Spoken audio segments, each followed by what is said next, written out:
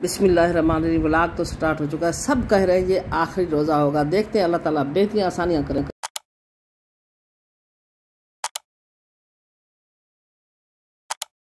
हो रही है शहरी आलू अंडे का सालन तैयार है, दही और रोटियाँ बाहर लेने गए हैं। काफ़ी सारी लेबर काम कर रही है। काफ़ी लोगों ने रोज़ा रखना है। किसी ने नहीं भी रखना है। जिन्हें रखना है, उनके लिए इंतज़ाम करें। और ये सालन, बहुत मज़े का, टेस्टी मैं डब्बा रोटी के साथ इस तरह से बर्गर बना के और ये देखते हैं ये हैं छोटे छोटे दो खा सकती हूँ, दो तीन खा सकूँगी तो इसका भी सोचूँगी इसके साथ क्या करना है। तो बिज़ी बेबे सैरी, उसके बाद देखते हैं, बताते हैं, चलते हैं और आगे आपके साथ ब्लॉग शेयर करते हैं। सैरी, आखिरी रोज़ा लगता है, परसों ईद कार ही लेंगे, आज तो चाँद देखते रहे, ईद नज़र नहीं आई तो लगता है, सब कह रहे हैं कि परसों ईद होगी इन तो देखते हैं, चाँद कब नज़र आता है। उनतीस रोज़े होते हैं या तीस होते हैं तो अल्लाह ताला बिज़ी बेबे को हिम्मत दे। ये मेरा बर्गर तैयार है रेडी, ये थोड़े से फल हैं, फिर पानी पियेंगे। अभी करते हैं सैरी। आज की पर न्यू बैटरी लग गई न्यू सोलर की वजह से सब कुछ चेंज हो रहा है, क्योंकि वो बड़ा सोलर होगा वहाँ हमारा पहले एक एसी और तीन चार चल रहे हैं इसलिए। तो इस साइड पे हमारा काफ़ी सारा कबाड़ पड़ा है। अहमद खान सुबह से उठा हुआ है सीमेक पुल को। आखिर इसने इसको फाड़ दिया, कहीं से इसका सुराख हो गया, बेचारे का पानी ठहरता ही नहीं है। तो पर्दा भी है, कुछ इस तरह का सिस्टम भी है, किचन में चलते हैं। साइड पर हमने पुलाव के लिए गोश्त रख दिया है। जैसे ये गोश्त, इसकी यखनी बनती है तो पुलाव बनाते हैं। इस साइड पे हम खिचड़ी बना रहे हैं, बच्चों को मोशन है बस। आखिर रमज़ान शरीफ के एंड पे होता यही है।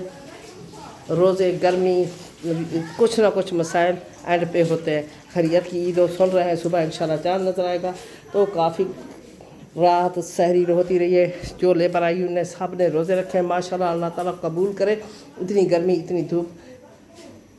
ये लोग होते हैं, इनके लिए जो स्पेशल जन्नत का दरवाज़ा खोल दिया जाता है। तो ये सारा क्लीन करते हैं। या, इस वक्त तैयारी शुरू हो जाती है। चिकन का सालन, टिंडे का सालन, दो दो सालन बनाएँगे, चावल बनाएँगे। तो इन साथ साथ अफ्तारी की भी तैयारी हो रही है। जिसको रोज़ा नहीं है, कोई बीमार है तो वो अपने हिसाब से कुछ खा पी देंगे सारी औरत वो सारा काम करेगी क्लीन करेगी।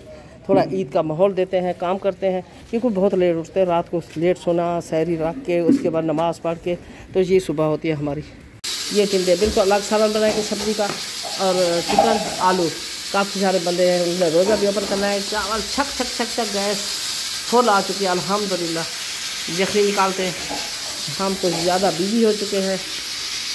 ये हमारी आज की रूटीन है। आप लोग के साथ शेयर करते हुए मेरा ब्लॉग कंप्लीट देखा करें। सब्सक्राइब भी कर दिया करें लाइक भी कर दिया करें विलेज की रूटीन विलेज की लाइफ विलेज की कुकिंग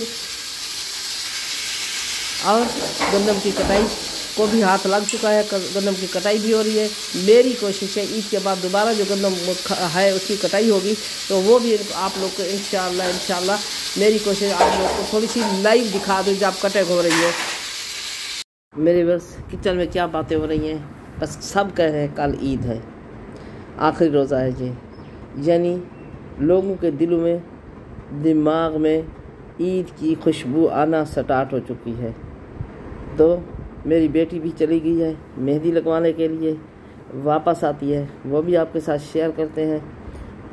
चाँद रात आ चुकी है लोगों के दिलों में, मेहंदियाँ लगना स्टार्ट हो चुकी है तैयारियाँ ईद की शुरू हो चुकी हैं। छोटा रोज़ा है अहमद खान की छोटी छोटी ईद होती है। इसको कोई भी ओपन नहीं कर दे रहा था। मैंने अपने बेटे को ओपन कर दिया। आप खा लो, ठीक है? आपका छोटा रोज़ा है ना? आप छोटे भी रोज़ा भी छोटा है, ईद भी छोटी होती है आपकी।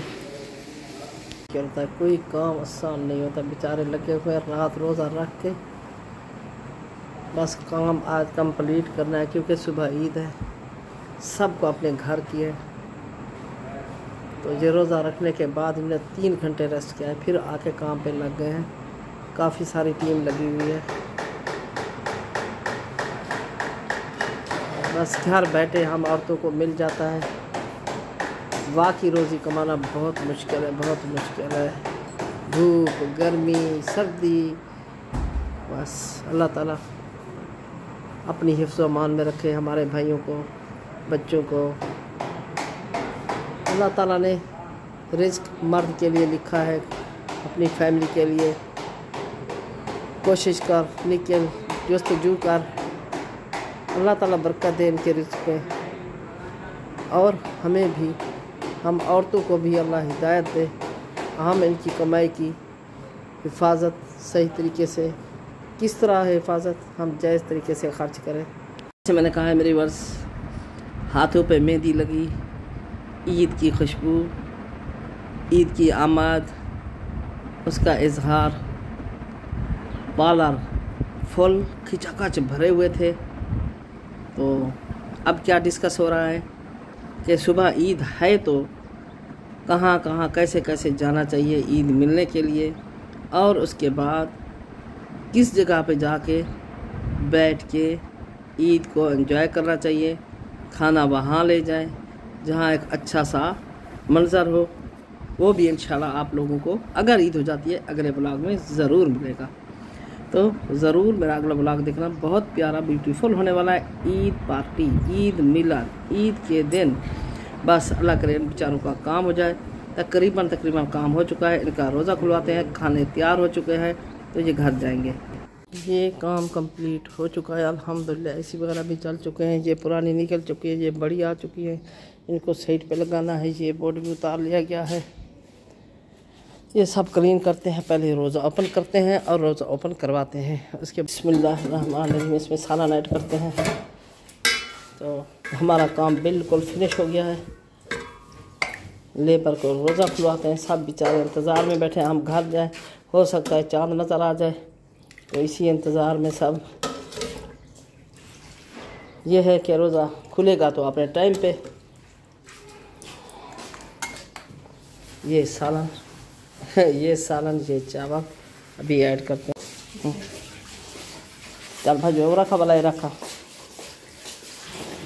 तो प्लेट ले रखी ना देना हुए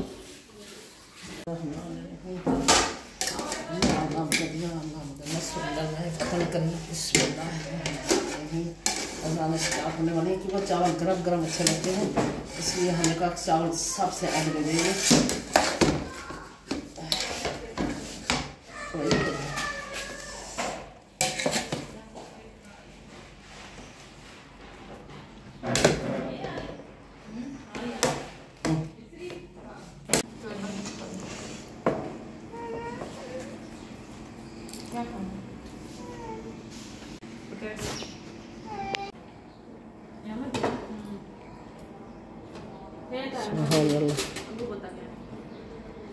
ईद का चाँद नज़र आ चुका है। अल्हम्दुलिल्लाह, खुशी की लहर दौड़ उठी है। सब चहचहा रहे हैं। तो सबको ईद मुबारक। मिलते हैं एक अच्छे से ब्लॉग के साथ, ईद वाले ब्लॉग के साथ कंप्लीट आने वाला ब्लॉग देखना।